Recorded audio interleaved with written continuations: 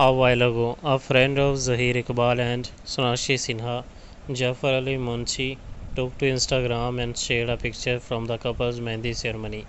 The couple can be seen posing with their close friend.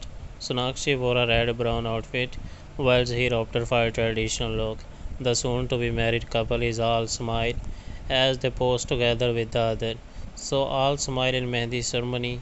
The caption is so excited and Sonakshi is now officially in the bandstand or clan. So this was the moment that shared by the friend of Sonakshi Sinha and Zaheer Iqbal.